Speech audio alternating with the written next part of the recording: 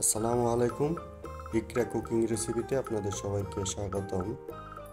আলু দিয়ে এই সহজ নাস্তাটি আপনারা বিকেলে অতি সহজে অল্প সময়ের মধ্যে বানিয়ে নিতে পারেন। তো চলুন রেসিপিতে চলে যাওয়া যাক।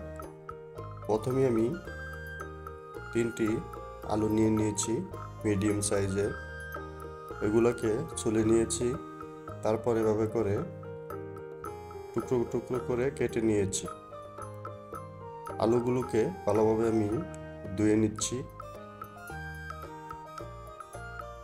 তো এভাবে করে আমি ধুয়ে নিলাম। তারপর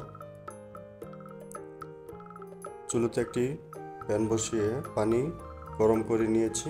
তারপর আলুগুলোকে দিয়ে দিয়েছি। দু থেকে তিন মিনিট এটাকে সিদ্ধ করে নেব। ফিফটি পারসেন্ট এটাকে সিদ্ধ করে নেব। তো মোটামুটি সিদ্ধ হয়ে গিয়েছে। তো এখন তা আমি নামিয়ে নিচ্ছি। অতি সহজে এই নাস্তার রেসিপিটি আপনারা তৈরি করে নিতে পারেন। তারপর এতে দিয়ে দিচ্ছি মরিচ কুচি, দিয়ে দিচ্ছি আদা পেস্ট, এক চামচ জিরে দিয়ে দিচ্ছি হাফ চামচ ব্ল্যাক পেপার দিয়ে দিচ্ছি হাফ চামচ, তারপর দিয়ে দিচ্ছি ধনে পাতা কুচি, লবণ দিয়ে দিচ্ছি স্বাদ অনুযায়ী। দিয়ে উপকরণগুলোর সাথে ভালোভাবে আলুগুলোকে মিশিয়ে নিচ্ছি। সিম্পল একটা রেসিপি অনেক সুস্বাদু। তারপর দিয়ে দিচ্ছি ময়দা। তিন চামচ, দিয়ে দিচ্ছি কর্নফ্লাওয়ার, দুই চামচ, দিয়ে আবারও এটাকে আলুগুলোর সাথে ভালোভাবে মিশিয়ে নিচ্ছি। দেখুন বন্ধুরা, অতি সহজে অল্প সময়ের মধ্যে আপনার এই রেসিপিটি তৈরি করে নিতে পারেন। সুস্বাদু, মজাদার একটি রেসিপি সামান্য একটু পানি দিয়ে দিচ্ছি, যাতে এটা আটালো ভাব হয়। অবশ্যই আমার চ্যানেলকে যারা সাবস্ক্রাইব করেছেন, তাদেরকে অসংখ্য ধন্যবাদ। যারা সাবস্ক্রাইব করেননি, অবশ্যই সাবস্ক্রাইব করে আমার চ্যানেলের পাশে থাকবেন নিত্য নতুন ভিডিও পেতে।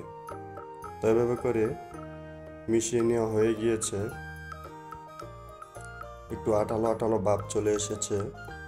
তারপর একটি বড় চামিচের সাহায্যে এভাবে করে আলুগুলোকে নিয়ে এর মধ্যে আমি একটি চুলোতে প্যানে প্যান বসিয়ে দিয়েছি। তেলটাকে গরম করে নিয়েছি। তারপর একে একে এভাবে করে আমি আলুর নাস্তার কুলো দিয়ে দিচ্ছি। তো এভাবে করে একে একে আমি চারটি এভাবে করে দিয়ে দিচ্ছি। বিকেলের নাস্তাতে অল্প সময়ের মধ্যে আপনারা এই নাস্তা রেসিপিটি তৈরি করে নিতে পারেন। সুস্বাদু, পুষ্টিকর এই রেসিপিটি আশা করি আপনাদের ভালো লাগবে। তো যখনই এইরকম ব্রাউন কালার চলে আসবে, তখনই তা আমি নামিয়ে নিচ্ছি। আশা করি আপনাদের এই রেসিপিটি ভালো লেগেছে। তো অবশ্যই ভালো লেগে থাকলে আপনারা আমার চ্যানেলের পাশে থাকবেন।